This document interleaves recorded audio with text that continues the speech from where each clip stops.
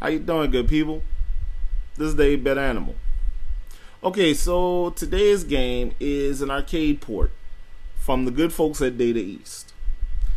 Um, this title was originally the arcade version was originally released by Midway, and it was wildly successful.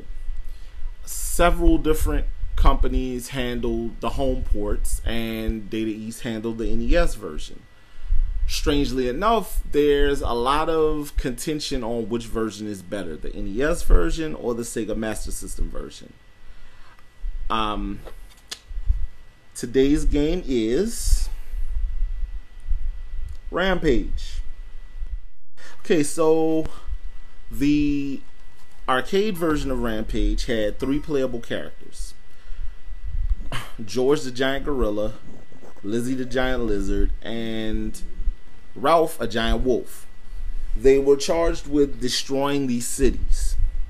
Um, and during the course of the game, your your path will literally take you across the country. Um, now there was no real difference as far as what each character did.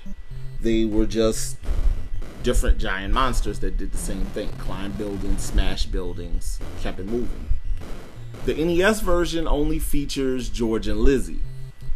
Um, now, one of the things that was really cool about this game was that each level was named after an actual U.S. city. Um, and each major each major section of the game was separated by a, by a portion of the U.S. map. Um, as you progress through the game, it gets harder and harder. There are more buildings to destroy, more uh, soldiers trying to defeat you, more traps inside of the smashed portions of the buildings that you come across. And there were a lot. There are a lot of traps going into the game.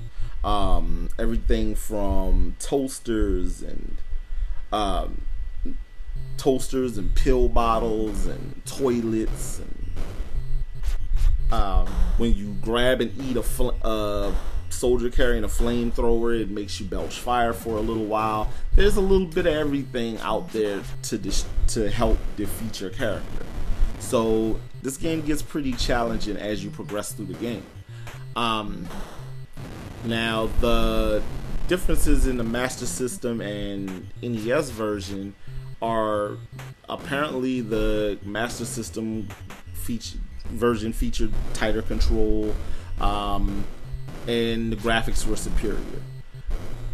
That's you know that's one of those things that happens when you get different versions of a game developed by different published and handled by different companies.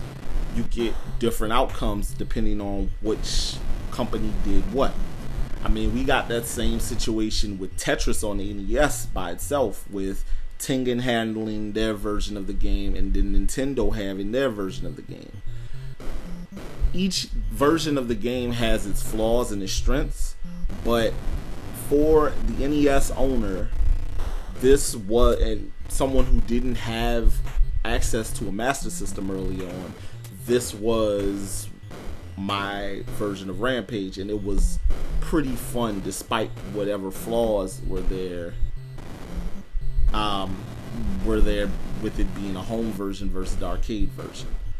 I remember the first time I played. I actually played the home version before I played the arcade version growing up, and when I finally did get a chance to play the arcade version, I was floored by how cool this game was in the arcades, and I can un- so now I can understand why it was as wildly popular as it was. Um, because it's such a popular title, Rampage can be a little difficult to track down as far as home versions go because you have again like with other titles resellers that will jack up a price regardless of the quality of that title or anything else just because it has a well-known name. So buyer beware with that. But it is a solid title and I wholeheartedly recommend the NES and Master System versions of Rampage. This has been 8 Bit Animal. I'll catch you beautiful people tomorrow.